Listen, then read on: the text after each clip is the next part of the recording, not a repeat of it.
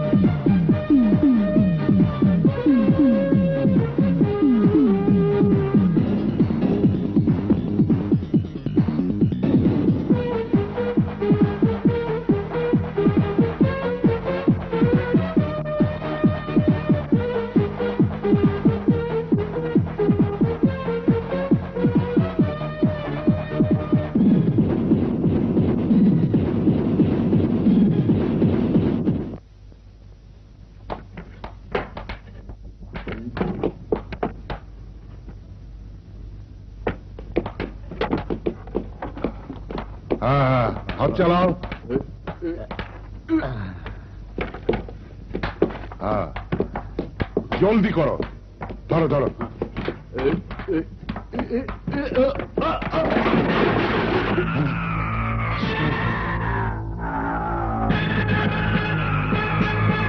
সাইদুল, অস্ত্রকে নিয়ে গুন্ডা মাস্তানরা দেশের মধ্যে মাস্তানি করবে, সন্ত্রাস করবে, মানুষ খুন করবে। আর আর আমরা তা মুখ বুঝে সহ্য করব। এ হতে পারে না এই তাহলে কি করবে কি করবে পুলিশকে বলে দেবো পুলিশকে অস্ত্রের চালান ধরিয়ে দেবো বেশি বুঝছ বুঝছ ভালো হচ্ছে না আয় সাইজ করি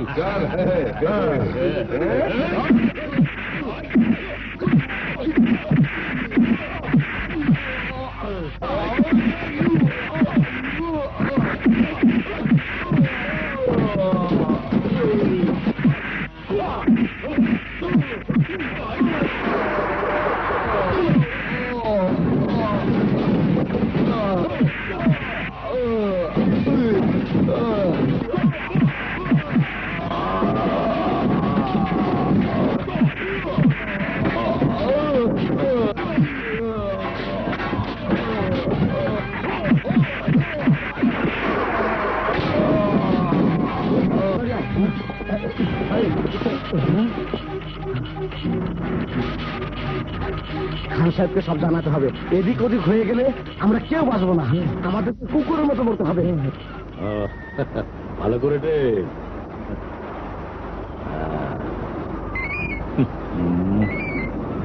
সাগর পরে এসো কোনো রিল্যাক্স নেই।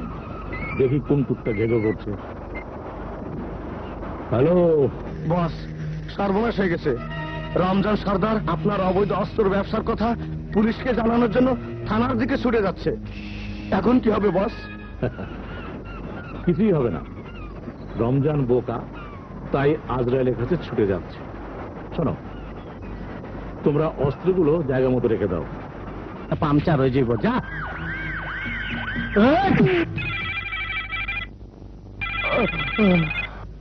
খারাপ এই টেলিফোনের কাছে যাবি না। শব্দ শুনে বুঝছি ওজন আলা টেলিফোন। তুই তোর কাজে যা।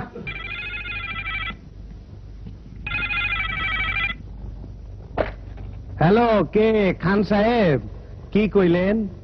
আর অত জোরে কইতে হইব না আমার কানের ফায় তো ছোট না। ভুলে গিয়েছিলাম। মাল পানি খবর শুনলে তোমার কানে স্টেরিও সাউন্ড বাজে। শোনো রমজানকে সাইজ করে দাও। আমি এসেই তোমাকে লাল খামটা পাঠিয়ে দেবো। বুঝছি খান সাহেব।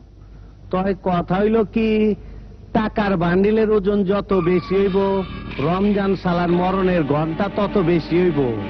আপনি যে কাম করতেছেন, নিশ্চিন্তায় করতে থাকেন। রমজান থানাতে আসলে পরে ফাইনাল কইরা দিব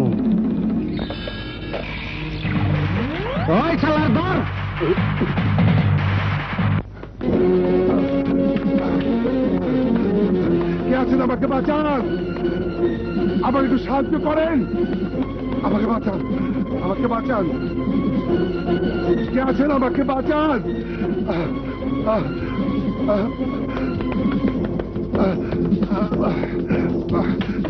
কে আছেন? আমাকে বাঁচান। আমাকে বাঁচান। প্লিজ দরজা খুলেন। দরজা খুলুন। দরজা খুলুন দয়া করে।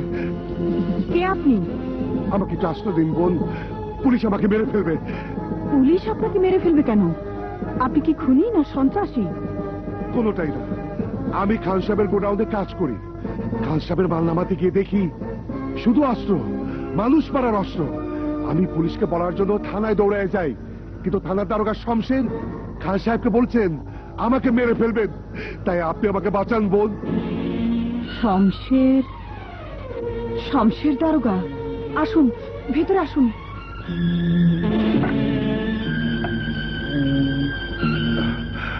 আমাকে আশ্রয় দিয়ে বড় উপকার করলেন বোন। আপনাকে আশ্রয় না দিলে আমার যে অপরাধ হয়ে যেত, ওই শমশের দারোগা বিনা অপরাধে আমার স্বামীকে খুন করেছে। আমার স্বামীর কোনো অন্যায় ছিল না, কোনো দোষ ছিল না। আপনাকে আশ্রয় দিয়ে আমার স্বামীর খুনের কিছুটা প্রতিশোধ নিলাম।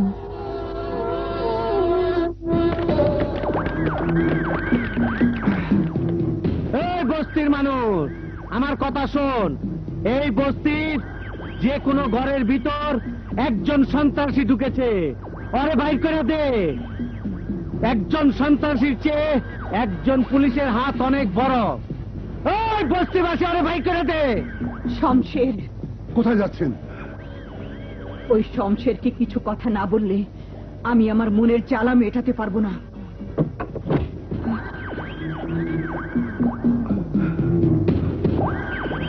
শালার পোলারা আমার কথা কি তোকে কানে ঢোকে নাই? শমশের এত রাতে বস্তির মানুষের ঘুম ভাঙানোর কোনো অধিকার নেই তোর। ওই তুই আমার তুই করে কইছস? ওই তুই জানোস আমি কেথা জানি জানি তুই তো সেই শমশের আইনের পোশাক পরে বেআইনি কাজ করিস। তুই তো সেই শমশের আমার নিরাপরাধ স্বামীর হত্যাকারী। ওই মাগি চোখ শমশের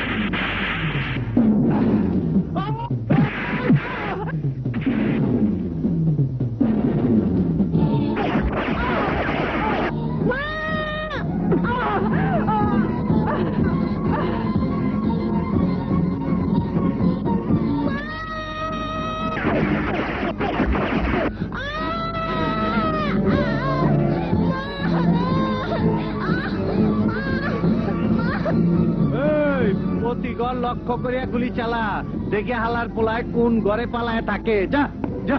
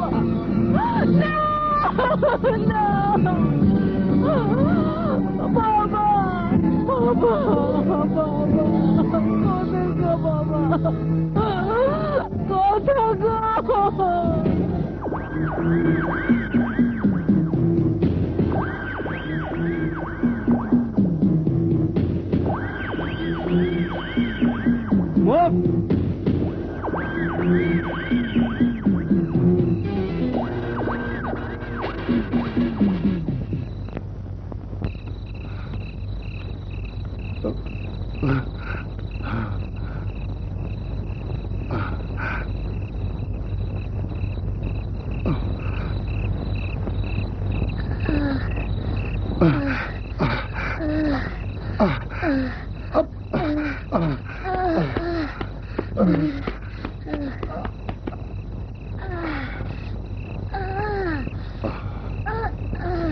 বাবা আমার জন্য তোর মা, তোর ছোট বোন, তোর চোখের সামনে খুন হয়েছে। আমি তোর কাউকে ফিরিয়ে দিতে পারব না। কিন্তু আমি তোকে এমন ভাবে মানুষ করব বড় হয়ে তুই হবি একজন ক্যাডার। আজকের ক্যাডার!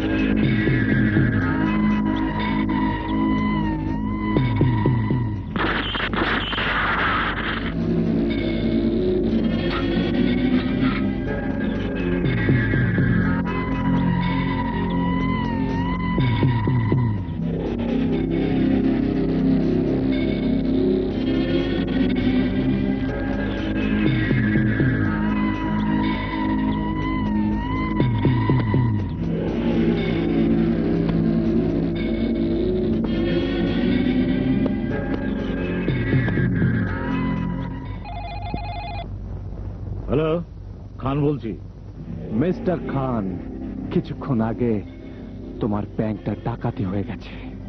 হোয়াট ইয়াস মিস্টার খান ওই ডাকাতিটা আমি করেছি। মাই নেম ইজ রবি থানা থেকে পুলিশের ক্যাডারের খাতাটা খুললেই নামটা এক নম্বরে চোখে পড়বে। গুড নাইট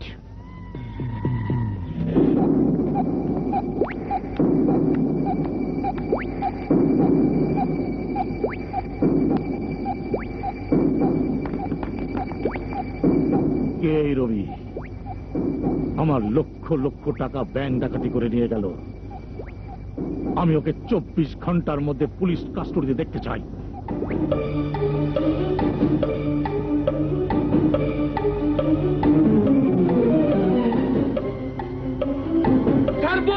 চল চল চল বাইরে।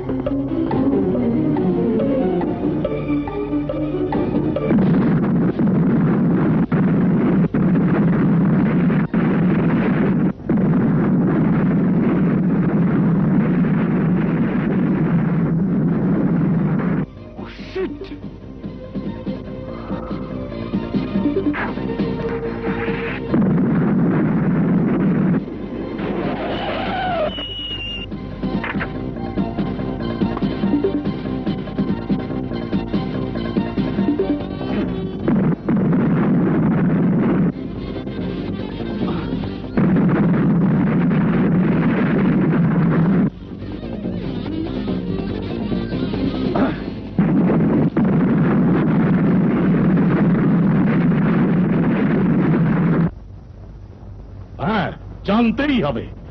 ওই রবি নামের ক্যাডারের ঠিকানা আমাকে জানতেই হবে। শহরে এত লোক থাকতে ওই স্টোরে বাচ্চা কেন আমার পিছনে লেগেছে? ওর জন্ম বোধহয় পিছনদা হয়েছিল তাই পিছনটাই ভালো চিনে। কি বললে? এ না মানি খান সাহেব সব সময় উত্তেজিত হইয়া সব কাজ করা যায় না। আপনি কি মনে করেন পুলিশের চোখ ফাঁকি দিয়ে ওই শালার পো বাঁচতে পারব? পারবে না।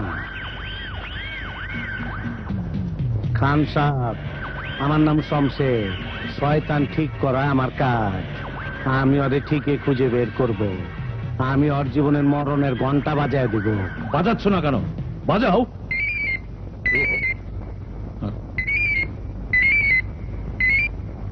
হ্যালো? খান সাহেব খান সাহেব এই ফোন আপনার আছে না? এই ফোন আমার। হ্যালো? গলার আওয়াজ শুনে বুঝেছি কোনো কুকুরের আওয়াজ। তুই ঠিকই বলছিস। এই হারামির বাচ্চা তুই বড় ক্যাডা রয়েছিস আমি তোরে দেখে নিব। কি করে তুই আমার নজর থেকে লুকিয়ে থাকিস? এই আইনের পোশাক পরা বেইমান আমাকে তোর খুঁজতে হবে না। আমি তোকে খুঁজে নেব। আমি ক্যাডার হয়েছি ওই খান আর তোর জন্যে। তাই আমার জীবনের সবচেয়ে বড় টার্গেট তোরা দুজন। খান সাহেব একটা কাজ করতে হইব। ওই হারামজাদার ঠিকানার জন্য পুরস্কার ঘোষণা করতে হইব। আমার বিশ্বাস পুরস্কারের টাকার জন্য যে কোনো একজন ঠিকই ঠিকানা জানায় দিব। হুম বুদ্ধিটা মন্দ বলনি। এই বুদ্ধিটা কাজে লাগিয়ে শিকারকে শিকারীর জালে আটকাতে হবে। শালার অল্পের জন্য বেঁচে গেল। ওই কুত্তার বাচ্চাদের আমি বোমকে উড়িয়ে দিতে পারলাম না। আজ পারিস তুই কাল পারবি। আমি তোকে যে প্রতিহিংসার আগুন দিয়ে বড় করেছি সেই আগুনে তো শত্রুদের পুড়ে মরতেই হবে। পুরে তো মরতেই হবে বাবা। নইলে আমার বুকের আগুন নিভবে না অন্তরের কষ্ট দূর হবে না।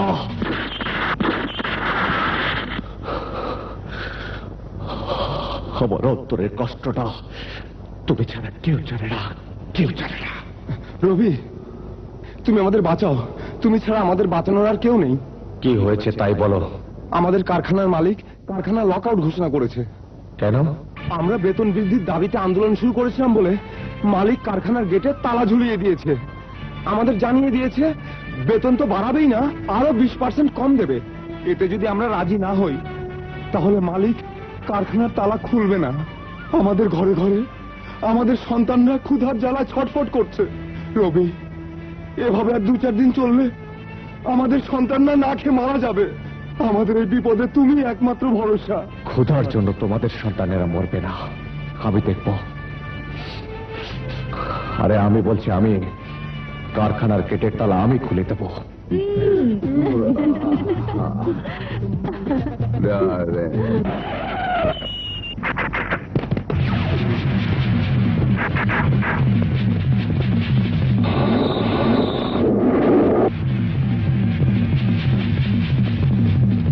প্রত্যেক শ্রমিককে দিয়ে দিবি।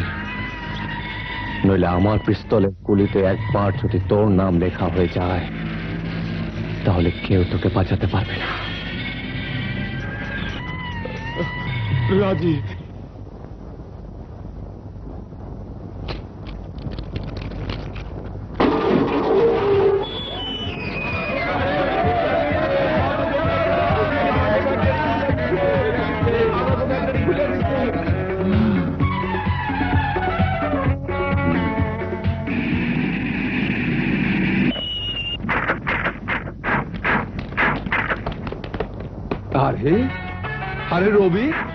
আছো? আরে কে কোথায় আছো? সবাই এসো। আমাদের রবি এসেছে। রবি এসেছে। আরে সবাই এসো। আমাদের রবি এসেছে। এসো রবি চলো। কেমন আছেন আপনারা? ভালো আছি বাবা। চলো রবি। এ দেই দেই। হ্যাঁ। রবি ভাই চান? আন্নারে দরিদ্র পুলিশ পুরস্কার ঘোষণা করছে। কুখ্যাত ক্যাডার রবিকে জীবিত অথবা মৃত ধরিয়ে দিতে পারলে ওই ব্যক্তিকে নগদ এক লক্ষ টাকা পুরস্কার দেওয়া হইবে। খোকন তোর মা কেমন আছে রে? ডাক্তার কি বলেছে? মারে বাঁচান যাইতো না রবি ভাই? ডাক্তার কইছে মারে বাঁচাই দিলে অনেক টিয়া লাগবো। অনেক টাকা লাগবে? বোকা ছেলে। আরে আমার সন্ধানটাই পুলিশকে জানিয়ে দিলি না কেন? পুলিশ তোকে এক লক্ষ টাকা দিত। না রবি ভাই আন্নারে পুলিশের কাছে ধরাই দি। আমি আর মারে বাঁচাইতাম চাই না পাগল। চল। রবিরে পুলিশের কাছে ধরা দিতে পারলে এক লাখ টাকা পুরস্কার। এই টাকাটা আমার চাই। অবশ্যই তুমি তোমার টাকা পাবে। রবি এইবার তুই যাবি কই? আমি তোর মরণের গড়ির ঘণ্টা বাজায় দিব। কোনো চিন্তা করো না চাচি। না পেলে আমার মেয়ের বিয়েই হতো না। আমি এমন কিছু করিনি চাচি। যাও ঘরে যাও। টাকাগুলো চাচার হাতে দিয়ে বলো বিয়ের সবকিছু জোগাড় করতে। যাও।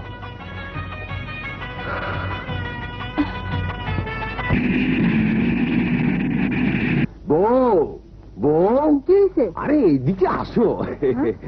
শোনো বউ আর কোনো চিন্তা নাই। আমি পুলিশে টেলিফোন করে দিয়েছি। হ্যাঁ? পুলিশ রবিকে গ্রেপ্তার করতে পারলেই এক লাখ টাকা পুরস্কার পাবো। আর সেই টাকা দিয়ে আমাকে সুখীরে বিয়ে দেব। কি করেছ তুমি? তোমার সুখীর বিয়ের টাকা পরি রবি আমাকে দিয়েছে। এই দেখো আর তুমি রবিকে ধরিয়ে দেবার জন্য পুলিশকে টেলি বলেছ না। আমি রবিকে পুলিশের কাছে কিছুতেই ধরা পড়তে দেব না।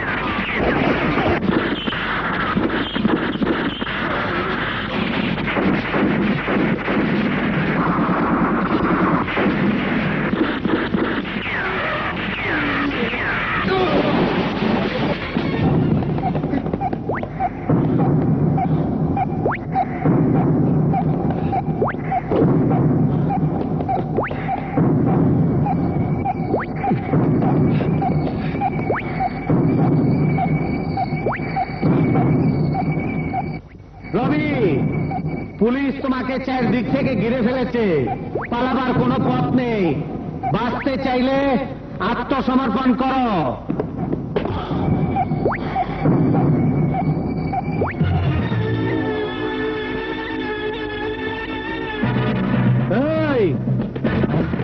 লাশগুলা গাড়িতে তোলো। ওকে স্যার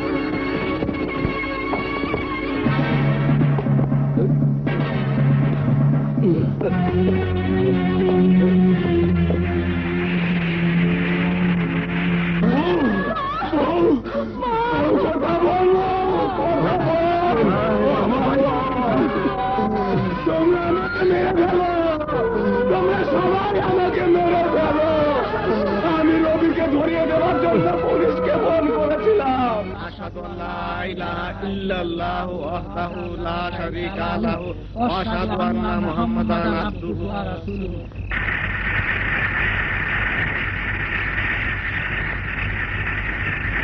أشهد أن لا إله إلا الله وحده لا شريك له وأشهد أن محمدا عبده ورسوله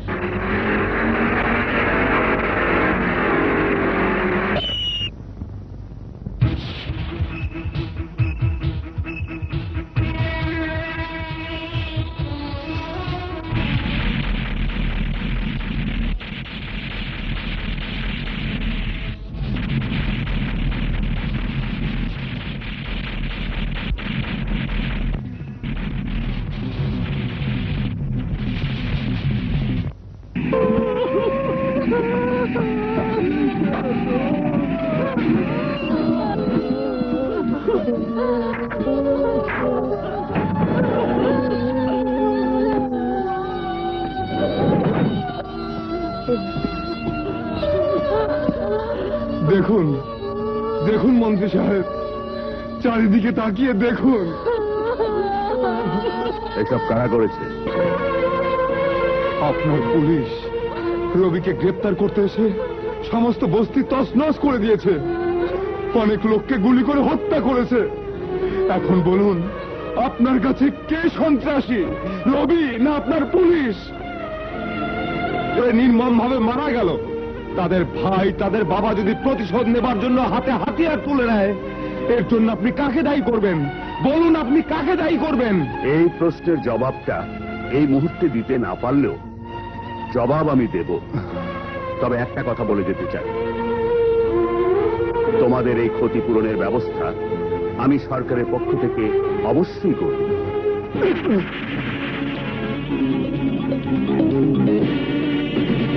বলো কি ক্ষতিপূরণ দেবে তুমি? তুমি কি তোমার চোখের সামনে তোমার সন্তানকে মরতে দেখেছ? দেখনি। আমি দেখেছি আমি দেখেছি আমি দেখেছি। সন্তান হারা মায়ের জীবনে। তুমি কি ক্ষতিপূরণ দেবে? মা আপনি আমাকে আরও কয়েকটা আঘাত করুন। আপনি ঠিকই বলেছেন। আমি এই সন্তানহারা মা বাবাকে কি ক্ষতিপূরণ দেব? বাবারে আমরা তো সন্ত্রাস করার জন্য সন্তান জন্ম দেইনি। এই দুঃখ, দুর্দশা ভোগ করার জন্য তো তোমাকে ভোট দেইনি। একটু বেঁচে থাকার ঠাই আর একটু নিরাপত্তার জন্য তোমাকে ভোট দিয়েছি, বাবা।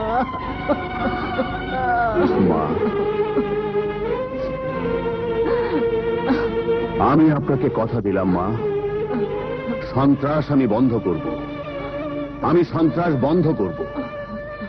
যদি না পারি তাহলে আমি আমার মন্ত্রিত্ব ছেড়ে দেব। আপনি শুধু শুধুই আমার বিপক্ষে কথা কইতেছেন স্যার। গ্রেপ্তার করতে গেলে গুলি বিনিময় হইবই। সেই গোলাগুলির ভিতরে দুই চারজন সন্ত্রাসীর বাইরেও যদি কিছু লোক মারা যায় এতে আমার করার কিছু নাই স্যার। আমি যদি বলি সন্ত্রাসীকে আত্মসমর্পণ করার সুযোগ না দিয়েই তুমি গুলি চালিয়েছ এই অধিকার তোমাকে কে দিয়েছে? রবি এখন আর তোকে কেউ চিনতে পারবে না। এর ব্যবস্থা হয়ে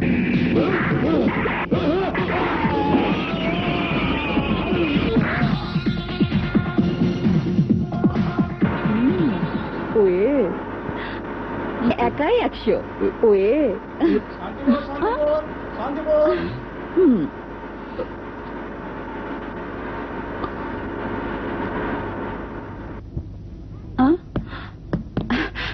এই শোনো শোনো। হ্যালো হ্যালো মিস্টার এই যে দাঁড়ান না একটু আরে আরে শোনেন না।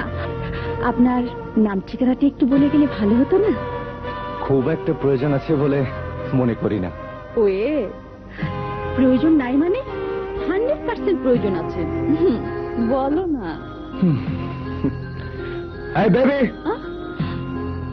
সাংঘাতিক ছেলে তো বাবা। আমাকে উপকার করে পাত্তা না দিয়েই চলে গেল। কোথায় যাবে?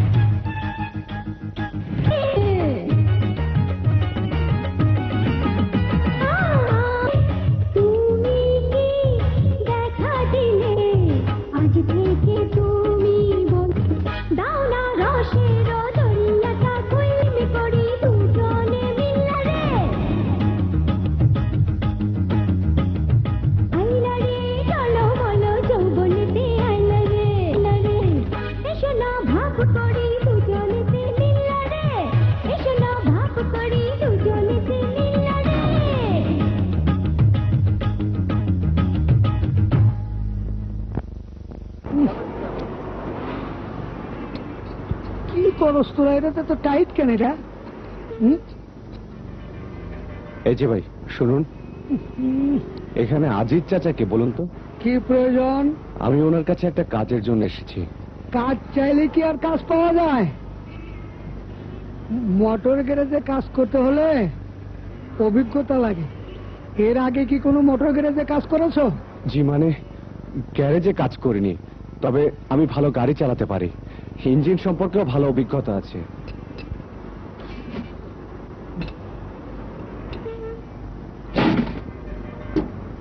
কোনো কিছুর অভিজ্ঞতা নেই। যেমন মারামারি মাস্তানি রংবাজি কুণ্ঠ কেরাতি ভয় পেয়ে গেলে? তোমার নাম তো রবি তাই না? হ্যাঁ কিন্তু আমি তো নাম এখনও বলিনি। আপনি জানলেন কি করে? হ্যাঁ তোমার সম্পর্কে আমি অনেক কিছু জানি। কিছুক্ষণ আগে তোমার বাবা আমার বন্ধু রমজান টেলিফোন করেছিল। বাবা টেলিফোন করেছিল। কি বলেছে আপনাকে? যা সত্যি তাই বলেছে। তুমি খুব ভালো ছেলে। কিছু লোক তোমাকে রংবাজ বানাতে চায়। তুমি রংবাজি করতে চাও না বলে একটা কাজের জন্য আমার কাছে এসেছ। যাক বাবা তাহলে পরিচয়টা গোপনই করেছে। আর ভাবনা চিন্তার কারণ নাই। মনে করো তোমার কাজ হয়ে গেছে।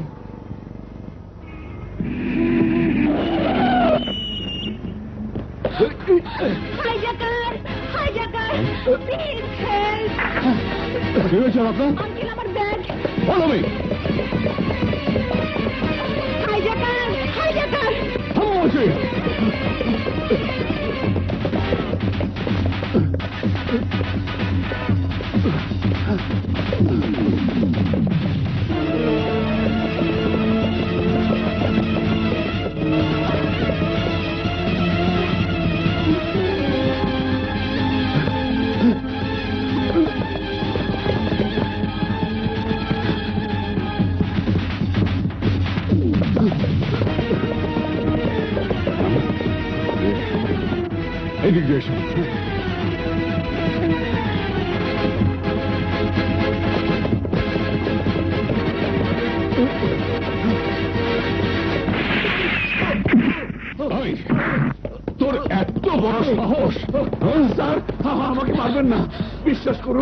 আমি হাইজ্যাকার না আঙ্কেল ওর কথা বিশ্বাস করবেন না।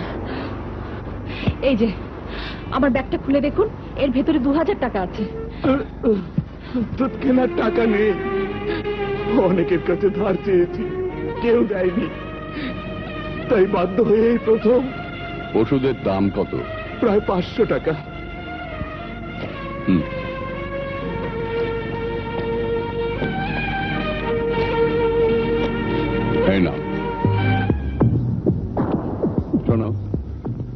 ভবিষ্যতে আর কখনো হাইজ্যাক করতে যাবে না। শোনো ওই ছেলেটাকে একটা ধন্যবাদ জানিয়ে যাও। ও যদি তোমাকে ল্যাং না মারতো তাহলে হয়তো গুলিটা তোমার শরীরে লাগতো। যাও। আপনাকে অনেক ধন্যবাদ।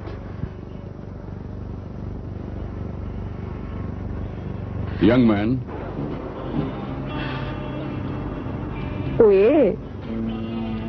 তোমার জন্য আজ একটা লোক পুলিশের গুলি থেকে বেঁচে গেল। কি নাম তোমার? কোথায় থাকো? শোনো, শোনো, শোনো। সালামালাইকুম ভাই সাহেব। ওর নাম রবি। হুম। আজ আমার কাছে একটা কাজে আসছে। আমার বন্ধু সে। হুম হুম, খুব ভালো গাড়ি চালাতে জানে। আঙ্কেল হুম? ভালো গাড়ি চালাতে পারি কিনা জানি না। তবে সিনেমার হিরোর মতো ঝিঝুম ঝিঝুম ভালো দিতে পারে। হুম। তুমি জানলে কি করে? ইয়ে রাস্তায় আমার গাড়িটা খারাপ হয়ে গিয়েছিল। হুম। আমি বাসে ফিরছিলাম। ওই বাসে কিছু রংবাজ ছেলে আমার সঙ্গে খারাপ ব্যবহার করলে ও যা ঝিসুম ঝিসুম দিল না। Hero hero hero. Aziz Mia তাহলে ছেলেটা তোমার গাড়ি গ্যারেজে কাজ করবে কি বলো? কাজ তো করবে ভাই সাহেব। কিন্তু আমি তো থাকি আপনার বাড়িতে। হুম। এখন ওরা কোথায় রাখি বলুন তো? কেন তুমি যেখানে থাকো সেখানেই থাকবে? আচ্ছা। দেখে তো মনে হয় ছেলেটা ভালোই। তুমি যখন বললে ভালো গাড়ি চালাতে জানে, তখন না হয় তোমার এখানে কাজ করার ফাঁকে ফাঁকে আমার মেয়ে কবিতাকে কলেজে দিয়ে আসবে, নিয়ে আসবে।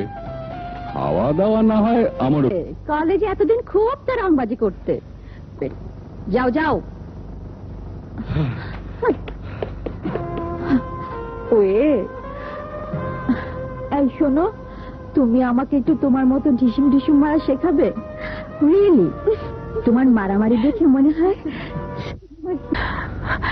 দেখি আপনার হাতটা। ও কিছু না এমনিতে ঠিক হয়ে যাবে। আমি জানতে চাই তোমার হাতটা বাড়তে দেবে কিনা ভাইয়া?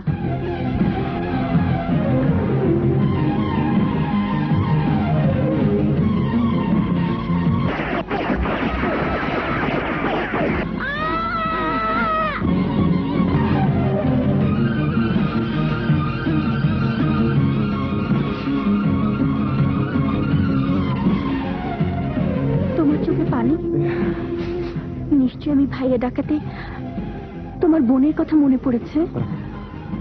হ্যাঁ কবিতা। আমার বোনের কথা মনে পড়েছে। তোমার বোনকে তুমি বুঝি খুব ভালোবাসতে আদর করতে? করতাম। ওর নামটাও ছিল কবিতা। করতাম মানে? কত বেঁচে নেই। অনেক বছর আগে আমার চোখের সামনে পুলিশের গুলিতে মারা গেছে। পুলিশের গুলিতে মানে? সে অনেক কথা। তুমি না বললে আমি শুনতে চাইব না। তবে আজ থেকে মনে রাখবে তোমার সেই ছোট বোন কবিতা মরেনি। আমার মতে বেঁচে আছে। কবিতা? হ্যাঁ ভাইয়া। ভাইয়া।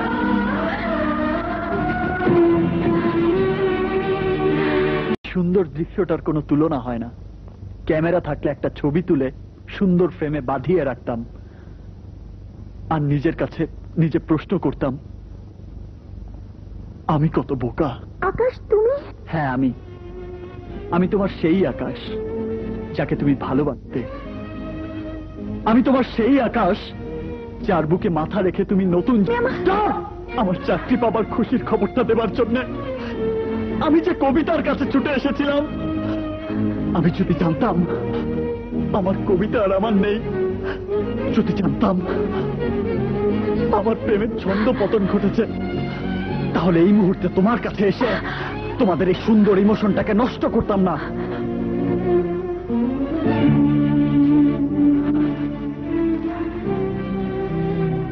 এতদিন আমি জানতাম তোমার জীবনের এক নম্বর সিরিয়ালটা সুন্দর দৃশ্যটার কোনো তুলনা হয় না।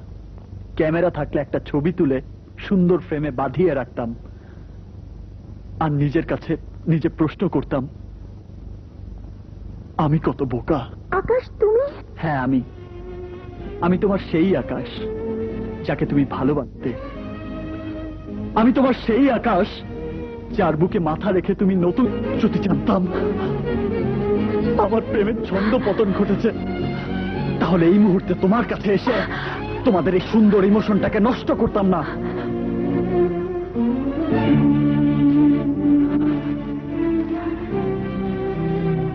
এতদিন আমি জানতাম তোমার জীবনে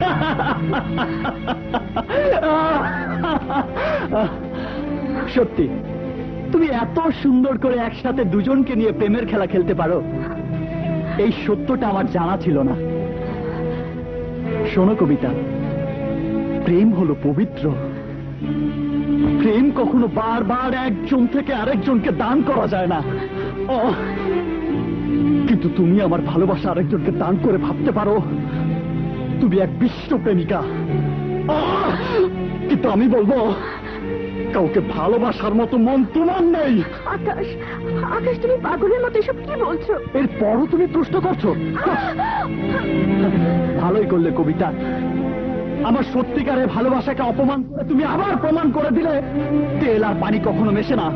তুমি আবার প্রমাণ করে দিলে ধনী আর গরিবের ভালোবাসা ক্ষণিকের আবেগের কিছু কথা মাত্র যার সাথে বাস্তবতার কোনো মিল নেই। আকাশ তুমি কি আমার কথা শুনবে নাকি নিজেই বলে যাবে? নতুন করে আর কি বলবে? আর কি বল আছে তোমার। Goodbye goodbye Kabita. দাঁড়াও। তুমি ওকে ডাকবে না ভাইয়া। যে শুধু চোখের দেখাটাই বড় করে দেখল, একবারও জানতে চাইলো না তুমি কোন অধিকারী, কোন সম্পর্কে আমাকে তুমি বুকের ভেতর জড়িয়ে নিয়েছিলে। তার সাথে আমার কোনো সম্পর্ক থাকতে পারে না। অবিশ্বাসী মন যাদের তাদের সাথে ভালোবাসা হয় না। ভালোবাসার জন্য সুন্দর একটা মনে আকাশ ছোট বোনকে আদর করে বুকে জড়িয়ে নেবার কি বড় ভাইয়ের কোনো অধিকার নেই? ছোট বোন? যদি অধিকার থাকে তাহলে আমার বুকে তুমি তোমার যে ভালোবাসার কবিতাকে দেখেছ আমার সে ছোট বোন নিশ্চয়ই তোমার ভালোবাসাকে অপমান করেনি। আকাশ কবিতার প্রতি তোমার এত দুর্বল বিশ্বাস আমাকে যতটুকু দুঃখ না দিয়েছে কবিতাকে যতটুকু কষ্ট না দিয়েছে তার চেয়ে তার চেয়ে অনেক বেশি আমাকে অবাক করে দিয়েছে। কি হলো? চুপ করে আছিস কেন? এখন কিছু বল। যাও কবিতার কাছে যাও। কাঁদিয়ে এসেছ এবার আদর করে চোখের পানি মুছে দাও। যাও।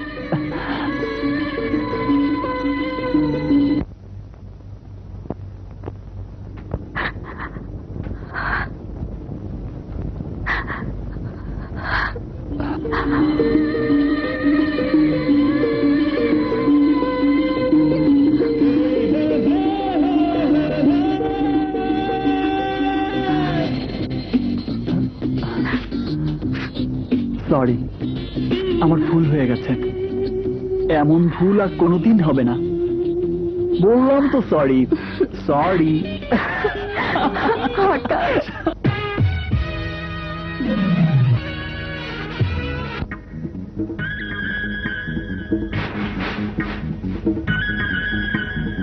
ফুলতোলা বাল শেষ দেব ফুলতোলা তোষক দেব সোনার পালঙ্কে রাতে আরামে শুয়ে রবে। আমাকে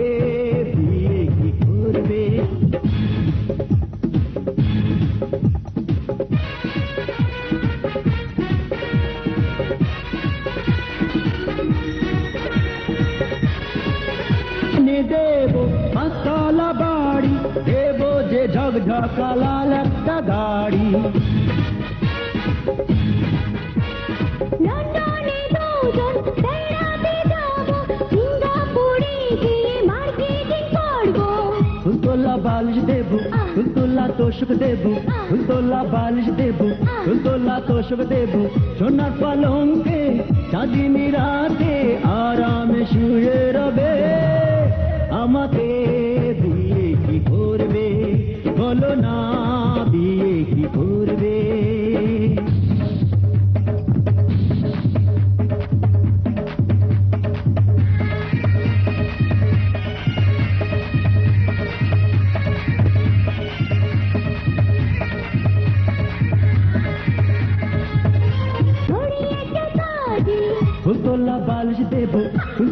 তোষক দেব ফুলতোলা বালিশ দেব ফুলতোলা তোষক দেব।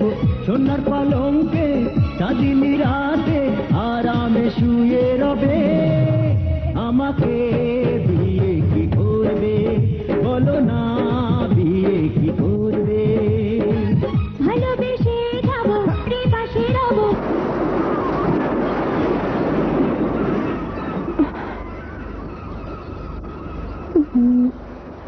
এই কি দেখছ? দেখছি না। ভাবছি কবিতা আমাদের সবার মন যদি এরকম সাগরের মতো বড় হতো কি হতো? কি হতো এত কিছু বলতে পারব না। শুধু বলতে পারব রবি ভাইকে নিয়ে তুমি আমাকে যে ভুল বুঝেছিলে এই ভুল বোঝার মানসিকতা তোমার মাঝে জন্ম নিত না। কথা জিজ্ঞেস করার সাথে সাথেই চান্সটা নিয়ে নিলে। বাঙালির স্বভাব। সুযোগ পেলেই সুযোগের সদ্ব্যবহার করতে চায়। তাহলে এই নির্জন সাগর পাড়ে হুম, আমিও সুযোগের সব ব্যবহার করি। কিসের সুযোগ? দেখতে চাও। আ,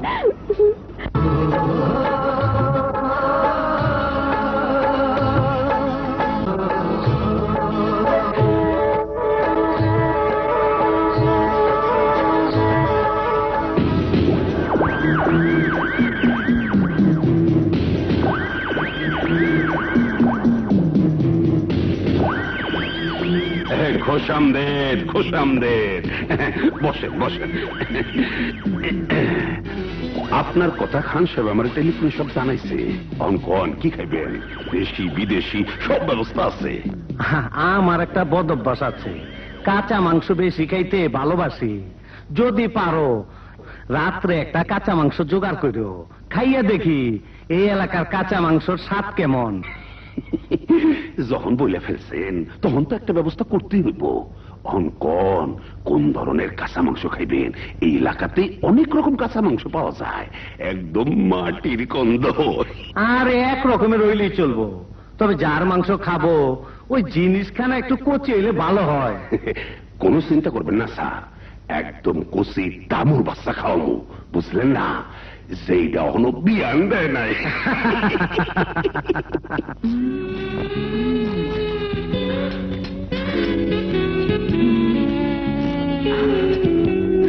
এই তুমি ভালো ইঞ্জিন ঠিক করতে পারো? হুম, বিশ্বাস করো।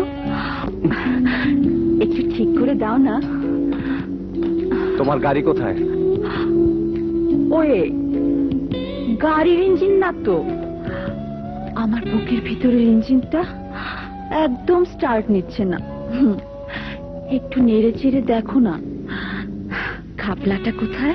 এটা আমার কাজ না ডাক্তারের কাজ। কোনো ডাক্তারের কাছে যাও ঠিক করে দেবে। তুমি ঠিক করে দাও না প্লিজ। দেখো কাজের সময় বিরক্ত করো না। তুমি যাবে না বের করে দেবো। ওয়ে যাচ্ছি বাবা যাচ্ছি। আমিও দেখে নেব। তুমি আমার বুকের ইঞ্জিনটা ঠিক করে দাও কিনা? হুম। পাগল।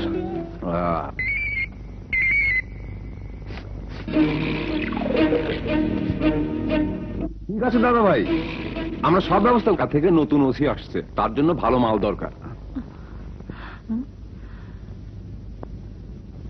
দে। হ্যাঁ মাল শোনো তোমরা আমার জন্য একটা কাজ করে দিতে পারবে?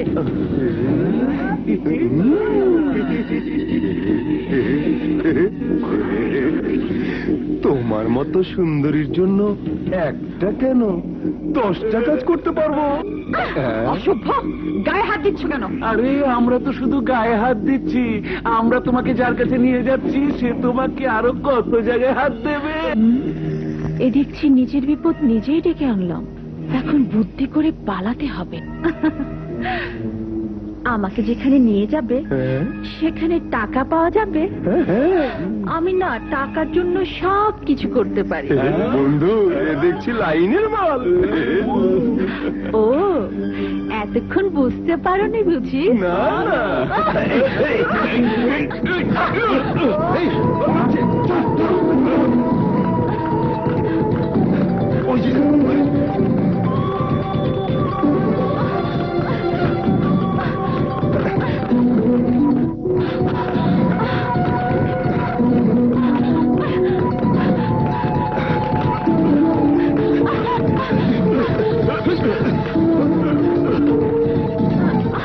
রবি রবি প্লিজ রবি তুমি আমাকে বাঁচাও রবি। গুন্ডার আমার পিছু নিয়েছে রবি রবি। বুদ্ধিটা খুব ভালো। তা কত টাকা দিয়ে ভাড়া করেছ? এই যে ভাই দাঁড়িয়ে দেখছ কি? তোমাদের সাথে মারামারি করার সময় আমার হাতে একদম নেই। আমার হাতে অনেক কাজ। রবি প্লিজ রবি।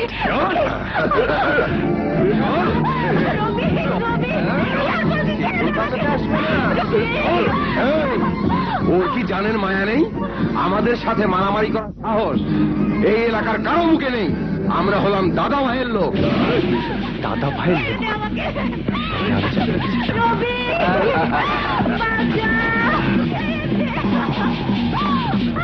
বাঁচা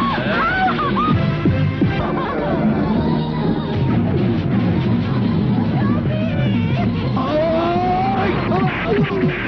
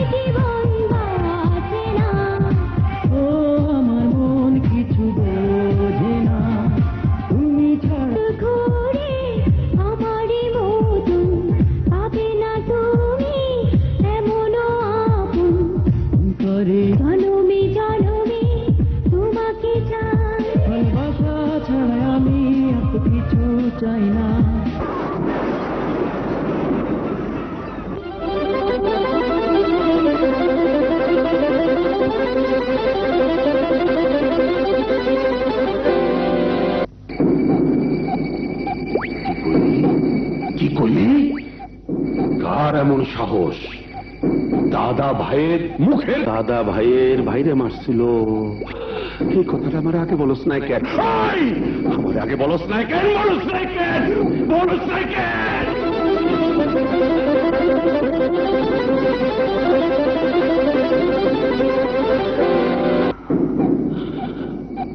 সাবার বাচ্চা নিশ্চয়ই এলাকার নতুন মাল।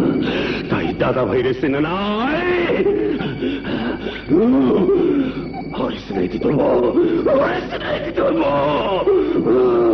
কি নাম বললা?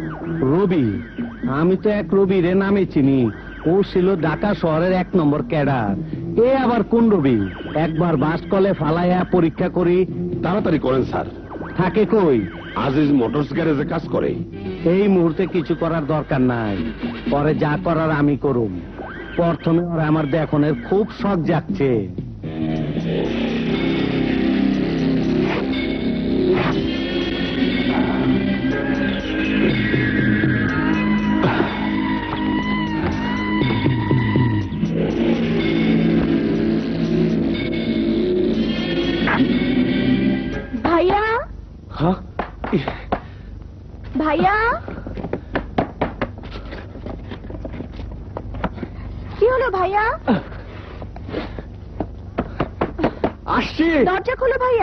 এই তো খুলছি। ভাইয়া। কি রে? চলো। বসো। হ্যাঁ নাও শার্ট প্যান্ট। হ্যাঁ? Shirt pant? এত দামি শার্ট প্যান্ট কার জন্য রে? তোমার জন্য? আমার জন্য? হ্যাঁ তোমার জন্য। কাল যে তোমার জন্মদিন। আমার জন্মদিন? হ্যাঁ রবি। জন্মদিন। ভাইয়া হ্যাঁ? আগামীকাল আমার ভাইয়া জন্ম হয়েছিল। ভাইয়া মারা যাবার পর মা প্রতি বছর একটা কেক নিয়ে মোমবাতি জ্বালিয়ে চোখের পানিতে সেই মোমবাতি নিভিয়ে ভাইয়া জন্মদিন পালন করে।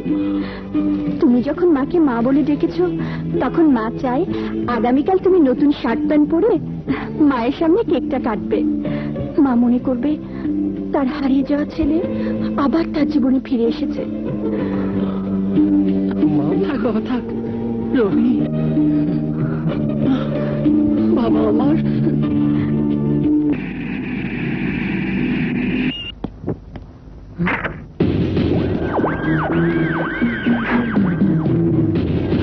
স্যার স্যার গাড়ির কোনো কিছু ঠিক করবেন? এই রবি কোথায়? রবির আমার খুব দরকার। স্যার রবি কাজ করে এখানে। কিন্তু থাকে এস আই হাসান সাহেবের বাসায়। কোনো প্রয়োজন হলে ওনার বাসায় যান আচ্ছা।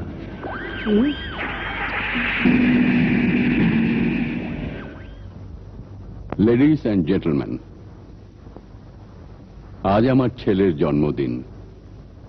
আজ এই দিনটাতে মনে হচ্ছে আমার ছেলে মারা যায়নি। কিছুদিনের জন্য আমাদের জীবন থেকে হারিয়ে গিয়েছিল মাত্র।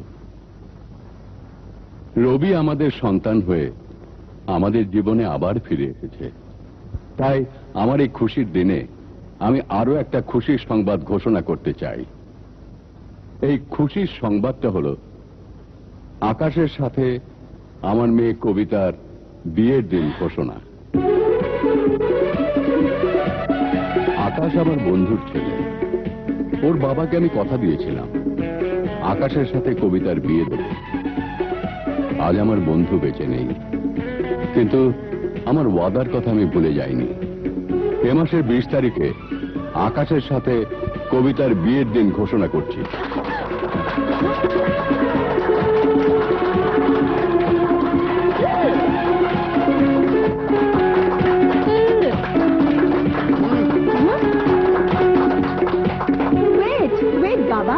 এখানে আমারও একটা কথা আছে। আমার কথাটা হয়তো সবাইকে অবাক করে দেবে। শুধু আমার বিয়ে হবে না আরও একটা বিয়ে হবে। সেই বিয়ের পাত্র পাত্রী হলো আমার ভাইয়া রবি এবং রত্না। ও। ও এ।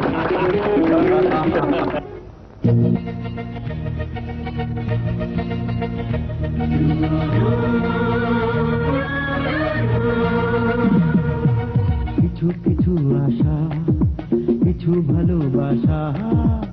কিছু কিছু আশা, কিছু ভালোবাসা, কিছু স্বপ্ন নিয়ে বেঁচে থাকা এই তো জীবন, সবার জীবন।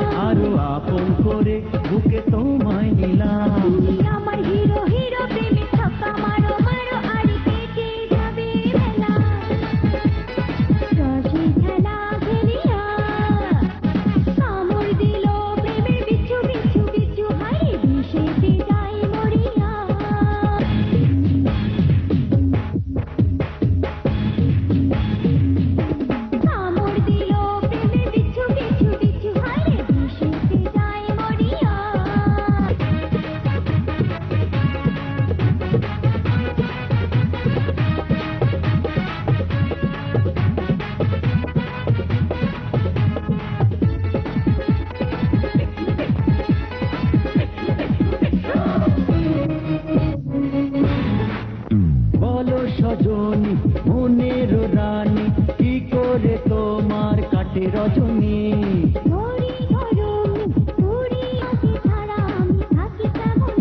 আমি তোমায় নেব চির সাথী করে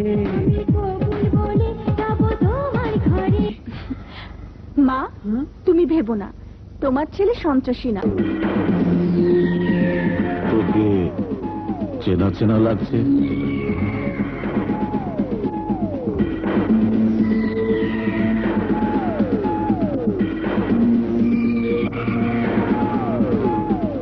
আমার সেই রমজান করি না।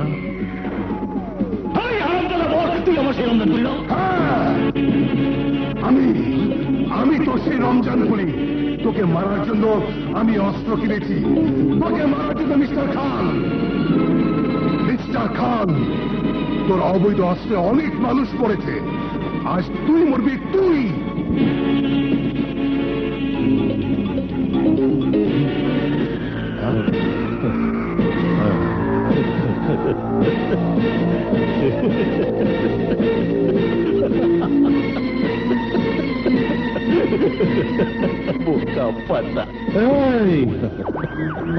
গাড়িতে করে থানায় নিয়ে যা।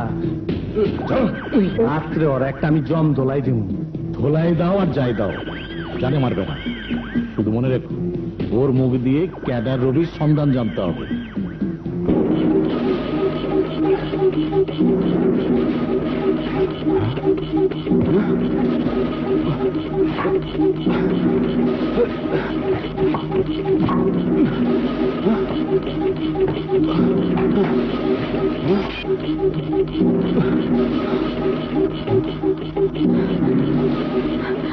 এই নাও।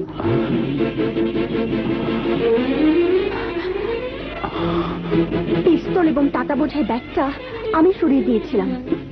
ড্রয়ার খোলা কেন?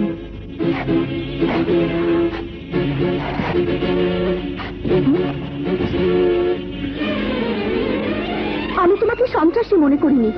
এই পিস্তলটা দেখার পর আমি শুধু একটা কথাই ভেবেছি। যারা তোমার মা, বাবা, বোনকে খুন করেছিল, নিশ্চয়ই তুমি তাদের উপর প্রতিশোধ নেওয়ার জন্য এই এই পিস্তলটা যত্ন করে তুলে রেখেছিলে, ভাইয়া। ভাইয়া, একটা কথা জিজ্ঞেস করব। যাদের উপর তুমি প্রতিশোধ নিতে চাও, বাবার ওই বড় অফিসার, নিশ্চয়ই তাদেরই একজন?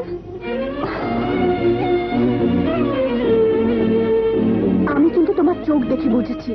ওই অফিসার যখন তোমার সামনে এসেছিল তখন আমি তোমার দু চোখে প্রতিহিংসা জ্বলতে দেখেছি ভাইয়া। বলো আমার কথা তো মিথ্যে? না মোটেও মিথ্যে নয়। তুই যা বলেছিস সত্যি বলেছিস। ওই হলো আমার মা বাবা ছোট বোনের ঘাতক। আমি জানতাম না ওই ঘাতকের সাথে আমার এখানে দেখা হয়ে যাবে। ভাইয়া তোমাকে শুধু একটা কথা বলতে চাই। তুমি কি পারো না তোমার প্রতিহিংসার কথা ভুলে যেতে? আমি বাবা মা তোমাকে আমাদের জীবন থেকে হারাতে চাই না। আমি আমি তোরে আবদার রাখতে পারব না কবিতা তুই জানিস না? আমার বুকের ভিতরে কি কষ্ট? এই কষ্ট প্রতিশোধ না নেওয়া পর্যন্ত আমার বুকের ভিতর থেকে দূর হবে না কবিতা দূর হবে না। তাহলে তুমি আমাকে কথা দাও ভাইয়া। বিয়েটা না হওয়া পর্যন্ত তুমি খুন মাঝে যাবে না? এই কথাটা অন্তত আমাকে দাও।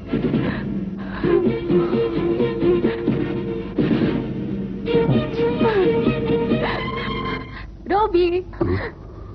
রবি, তুমি কখনো ক্যাডারদের দেখেছ?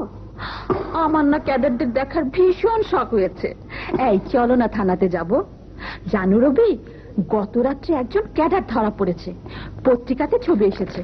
দেখো না দেখো না ছবিটা।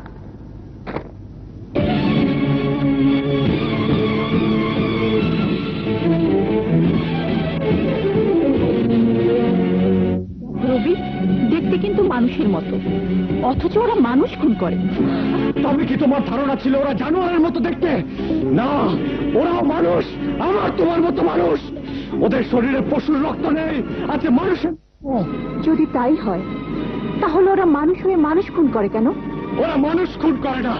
ওরা মানুষ নামে সেই অমানুষদের খুন করে। যারা ওদের সুন্দর একটা জীবন থেকে টেনে এনে ওদের শরীরে ক্যাডারের সিল লাগিয়ে দেয় ক্যাডারের তাদের খুন করে হ্যাঁ? ক্যাডার হয়ে কেউ কখনো জন্ম নেয় না। এই সমাজের কিছু মানুষ কিছু ভণ্ড নেতা কিছু রাজনীতিবিদ ক্যাডারদের জন্মদাতা।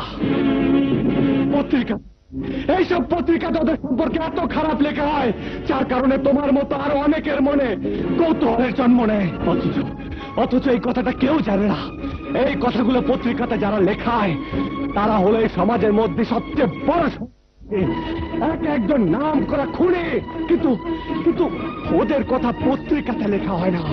ওদের নামে পুলিশের খাতাতে ডায়েরি হয় না। সন্ত্রাস হিসাবে পত্রিকাতে ছবি ছাপা হয় না। ছবি ছাপা প্রেমিক হিসাবে। তুমি এত উত্তেজিত করে কথা বলছো কেন? মনে হচ্ছে কথাগুলো আমি তোমাকে বলেছি। মনে হচ্ছে তুমি তুমি তাদেরই একজন। যদি মনে করো তোমার কথাটা মিথ্যে নয় মনে করো আমি নিজেও একজন ক্যাডার তাহলে নিশ্চয় তোমার বিশ্বাস হবে না। কারণ কারণ তোমার ধারণা ছিল ক্যাডারদের দেখতে বোধহয় মানুষের মতো নয়। আসলে আসলে ওরা আমারই মতো মানুষ। এখনও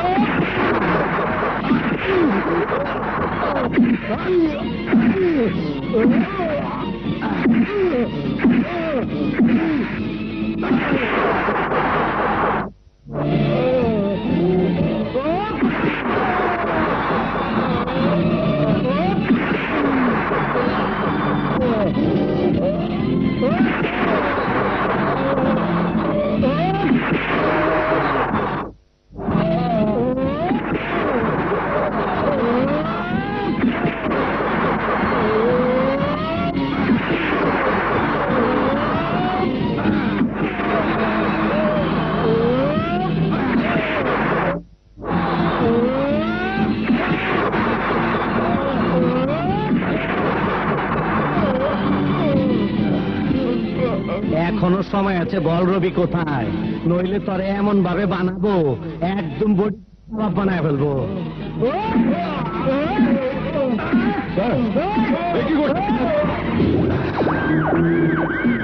আইনের পোশাক পরে কি আইনের কথা ভুলে গেছেন? একজন অপরাধীকে গ্রেপ্তার করার ক্ষমতা আমাদের কিন্তু ওই অপরাধীকে থানাতে নিষ্ঠুরভাবে টর্চার করার ক্ষমতা আমাদের নেই। বাবা ঘর কিছুই নাই তুমি কি আমার দুলাভাই? তোমার আমি থাপড়টাই জন্যই মারছি। তুমি বুঝলে আমি তোমার বড় অফিসার। বড় অফিসার এই পরিচয়টা যত বড় তার চেয়ে অনেক বড় পরিচয়। আপনি একজন অপরাধীদের গোলাম। এই বুইরা বয়স হয়েছে ঘরে বৌমাই আছে। খামাখা বেদাল করিস না। যা এখান থেকে। আমার কাজ আমারে করবার দে। যা! আমি যাচ্ছি স্যার। তবে একটা কথা মনে রাখবেন। আপনি যে ভুল পথে চলছেন এই পথ থেকে আপনাকে একদিন কেউ বাঁচাতে পারবে না। বাবা এবার কি তোমরা বুঝতে পেরেছ? এই দেশের মূল সমস্যাটা আসলে তোমাদের ডিপার্টমেন্টের কিছু অফিসার অপরাধের সাথে জড়িয়ে গেছে বলেই দেশের সন্ত্রাসী বলো আর ক্যাডারই বলো ওদের সংখ্যা দিন দিন বেড়ে যাচ্ছে। তোমার এই অফিসারের মতো কিছু অফিসার ডিপার্টমেন্ট আছে বলেই প্রতিদিন অন্যায়ের প্রতিবাদ করতে নতুন নতুন সন্ত্রাসী জন্ম এই সিস্টেমটা বন্ধ হওয়া উচিত বাবা। নইলে দেশের সন্ত্রাসী আর ক্যাডারের সংখ্যা আরও বৃদ্ধি পাবে। যাই হোক আগামীকাল কবিতার গায়ে হলুদ। এর মধ্যে তুমি আর ঝামেলাতে যেও না। আরেকটা কথা মা। বাবারই অপমানের কথা রবি ভাইয়াকে বলবে না। বললে পরিস্থিতিটা আরও ঘোলাটে হয়ে যাবে। তোর কথার অর্থ ঠিক বুঝতে পারলাম না। কিছু বোঝার দরকার নেই। যা বললাম তাই করো। এর বেশি কিছু জানতে চেও না। আমি ধরছি। হ্যালো? কি বললেন? দাদা ভাইয়ের রাস্তাটা থেকে অস্ত্র পাচার হচ্ছে? ঠিক আছে আমি এক্ষুনি আসছি। ওই তাড়াতাড়ি কর। হ্যাঁ তাড়াতাড়ি কর। খান সাহেব বলেছে আজই মালগুলা ঢাকা পাঠাতে হবে। খবরদার কেউ পালাবার চেষ্টা করবে না Take your position.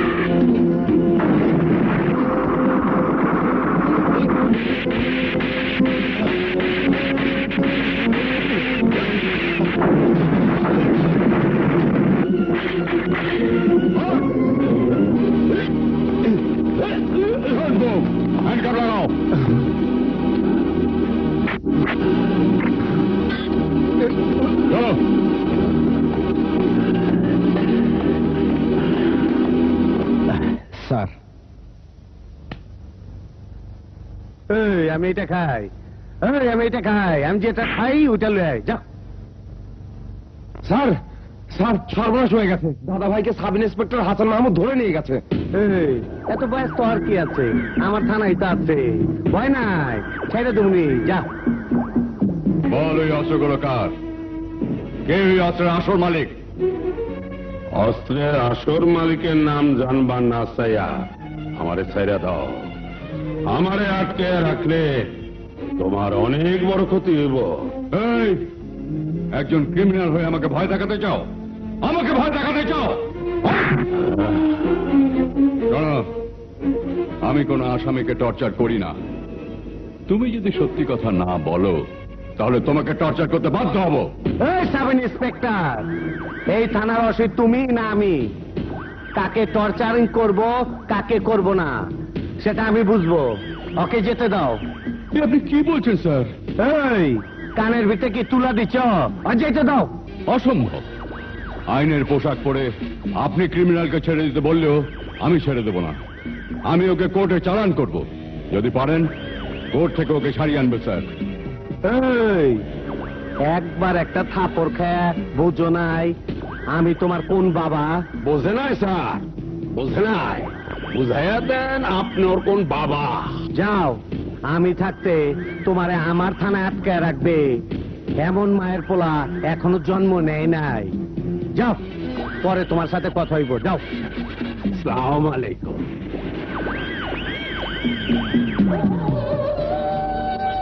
বাহ বাবা এই তো আইনের সত্যিকারের মানুষ। এর জন্য দেশের মানুষ আজ আমাদের ঘৃণা করে পুলিশকে ঘৃণা করে। ওসি ঘটনা বেশি সুবিধা মনে হচ্ছে না। সালাম আলাইকুম। ওয়ালাইকুম আসসালাম আমার মনে হচ্ছে ওই সাব ইন্সপেক্টর এবার তোমাকে ছাড়বে না। একটা অঘটন ঘটিয়ে দাও।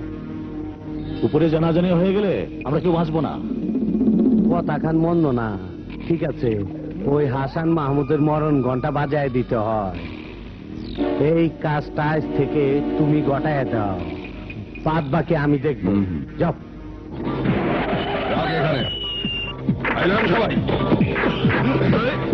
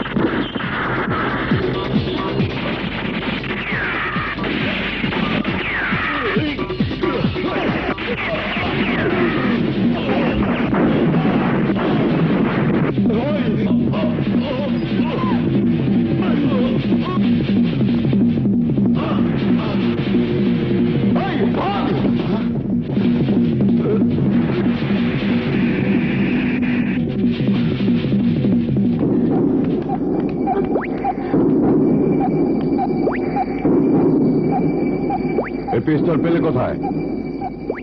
তাহলে কি জেনে নেব? আসলে একজন ক্যাডার। তুমি তাহলে এতদিন নিজের পরিচয় গোপন করে আমাদের সাথে প্রতারণা করেছ? একজন অস্ত্রধারী ক্যাডার হয়ে একজন সৎ পুলিশ অফিসারের সন্তান হবার অভিনয় করছ? আপনাদের মতো পুলিশের চোখে আমি ক্যাডার, কিন্তু কিন্তু কেন ক্যাডার হয়েছি? যদি বলে ওই পুলিশ অফিসার শমশেরের জন্য, ওই পুলিশ অফিসার শমশের আমার চোখের সামনে অন্যায় ভাবে আমার বাবা মা ছোট বোনকে গুলি করে মেরেছিল। ওদের মৃত্যু দৃশ্য আপনি দেখেননি আমি দেখেছি আমি! এর জন্য আইন ছিল। তুমি মনে করো পুলিশ ডিপার্টমেন্টের সবাই এক একজন শমশের? না এই পুলিশ ডিপার্টমেন্টে মাহমুদের মতো সৎ পুলিশ অফিসারও আছে। তাই বলছি তুমি পিস্তল আমার হাতে তুলে দিয়ে আত্মসমর্পণ করো। আত্মসমর্পণ করার মতো এখনও সময় আসেনি। আগে শমশেরকে খুন করব তারপর আত্মসমর্পণ। দাও দাও বলছি নইলে গুলি করতে বাধ্য হব।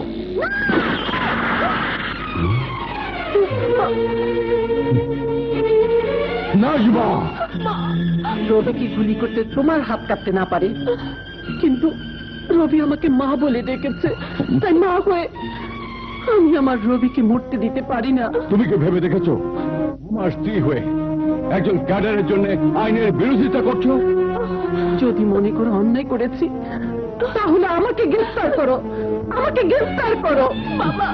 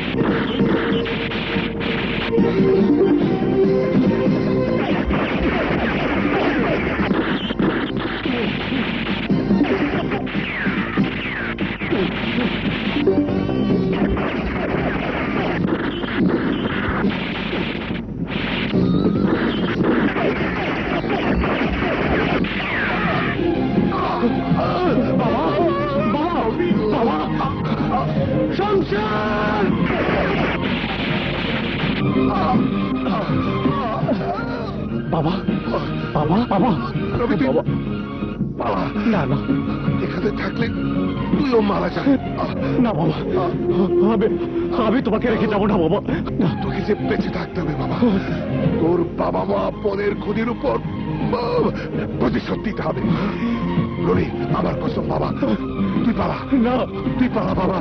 না বাবা। তুই পালা। বাবা বাবা? বাবা? ও বাবা।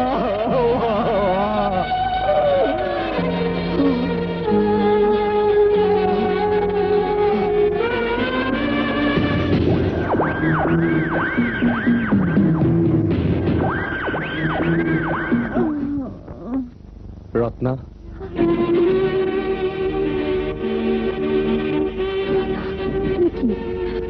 তোমার কপাল থেকে রক্ত ঝরছে কেন? রত্না ক্যাডার দেখার তোমার খুব শখ ছিল তাই না? মরণ যুদ্ধে যাবার আগে তোমার সেই শখটা আমি সত্যি করে যাবার জন্য তোমার কাছে এসেছি। কারণ এরপর তোমার সাথে আমার দেখা নাও হতে পারে। রবি এসব তুমি কি বলছো? আমার কথা বুঝতে পারছ না তো? তোমার সামনে দাঁড়িয়ে আছে আজ একজন ক্যাডার।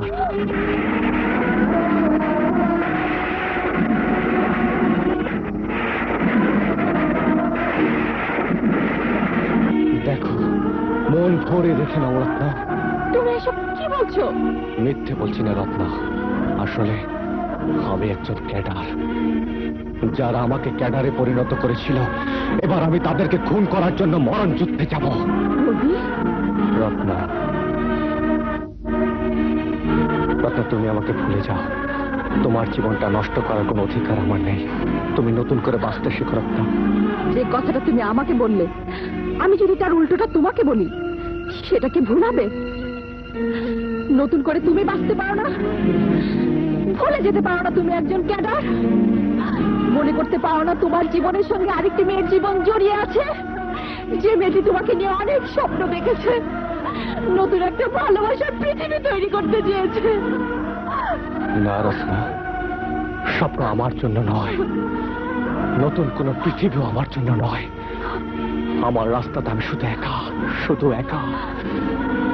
দাঁড়াও তুমি বলেছিলে ক্যাডাররাও মানুষ। ক্যাডারদের শরীরে মানুষেরই রক্ত। মিথ্যে বলেছিলে, রবি, মিথ্যে বলেছিলে। ক্যাডাররাও যদি মানুষ হয়, তাদের শরীরে যদি মানুষেরই রক্ত থাকে, তাহলে মানুষ কখনো জীবনের আশা ভালোবাসাকে ভুলে যেতে পারে না। মানুষ কখনো সুন্দরের দিকে না তাকিয়ে অসুন্দরের রাস্তা পা চলতে পারে না। তুমি যদি মানুষ হও তাহলে বলব, তুমি আমার আমার ভালোবাসার দাম দেবার জন্য তুমি ফিরে আসবে। আর যদি মানুষ না হও, তাহলে তোমার কথা মিথ্যে। ক্যানাডা মানুষ না ক্যানাডা মানুষ হতে পারে না পারে না পারে না।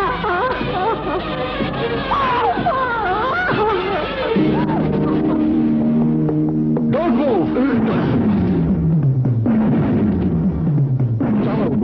বলি বলি।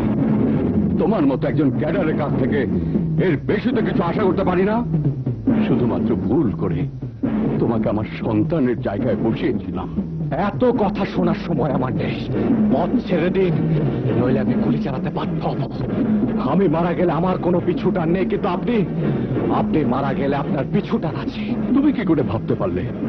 আমার পিছু টানের জন্য আমি তোমাকে ছেড়ে দেবো? এখনও বলছি আত্মসমর্পণ করো। আর না হয় আমাকে গুলি করে তোমার পথ পরিষ্কার করে চলে যাও। নিজেরাই গোলাগুলি করে মারা যাও আর যারা সত্যিকার অপরাধী ওরাই বেঁচে থাক। বাবা সন্তানের বুকে আর সন্তান বাবার বুকে গুলি না চালিয়ে যাও। ওই শয়তানদের বুকে গুলি করে আমার কবিতাকে উদ্ধার করে নিয়ে এসো। যারা আমার কবিতাকে তুলে নিয়ে গেছে। নাজমা মা আমি তোমাকে কথা দিয়ে যাচ্ছি মা।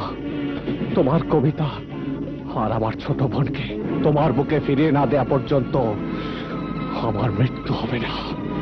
এক মায়ের কাছে এক সন্তানের দেয় এটা একটা প্রতিজ্ঞা। দোহাই দোহাই আপনাদের ছেড়ে দিন। এই তারা সুন্দর। সুন্দরবনের হইনি কয় কি? অরে নাকি ছাইরা দিতে হইব। হরিণী যখন জালে ধরা পড়ে তখন সে চিৎকার করবে। হ্যাঁ। আর এর ফাঁকি? কাম ছাইরা দিব।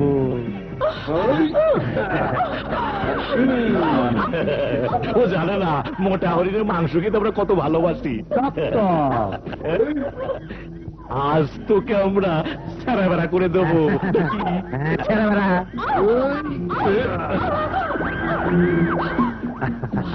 মোটা হরিণের নাচ দেখতে আমার খুব ভালো লাগে। তুমি খুব রোমান্টিক কথা বলছো গো। নাচ নাচ নাচ!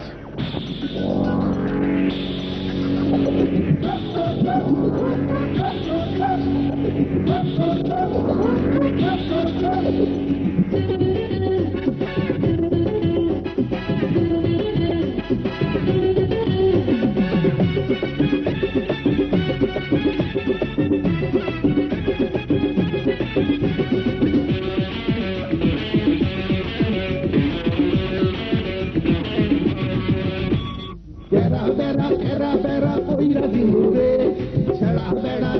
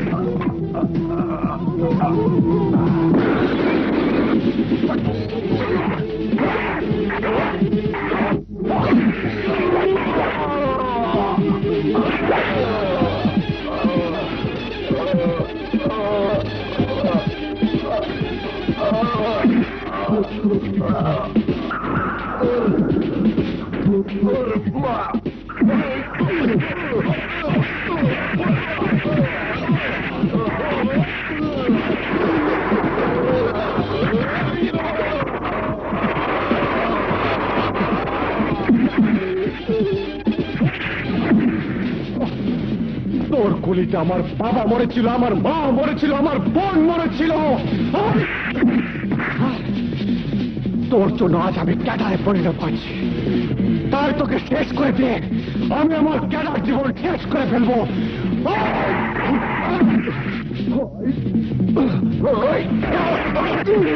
রবি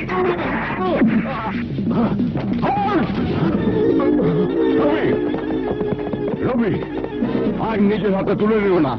ওর বিচার আদালত করবে। আইন ওর বিচার করতে পারবে না। আইনের ফাঁক দিয়ে ওর মতো ক্রিমিনাল ঠিকই বেরিয়ে আসবে। তাই আমি ওকে শেষ করে ফেলব। না রবি না। আইনকে দুর্বল মনে করো না। এখন আইনের সব লোক নষ্ট হয়ে যায়নি। আমি বলছি ওর বিচার হবে। এই ওকে অ্যারেস্ট করো।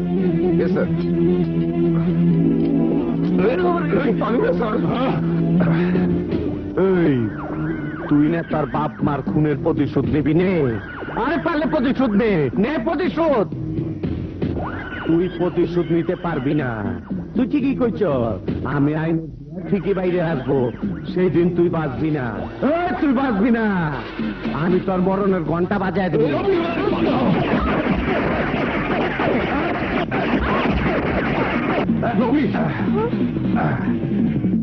শালার বাচ্চায় দেখি সত্যি সত্যি আমার মরণের ঘণ্টা বাজায় দিল। এবার আমাকে গ্রেফতার করুন। হয় না আমাকে জেল দেখ ফাঁসি দেখ। আমার কোনো দুঃখ থাকবে না। রবি আইন শুধু শাস্তি দিতেই জানে না মানুষকে ভালো হবারও সুযোগ দেয়। তুমি আদালতের সামনে দাঁড়িয়ে তোমার সব কথা বলবে। আমার বিশ্বাস আদালত কেসটা মানবিক দিক থেকে বিবেচনা করবে। রবি। রবি। কেঁদো না মা। তোমার কাছে আমি আবার ফিরে আসব। রবি আমি তোমার জন্য অপেক্ষা করব।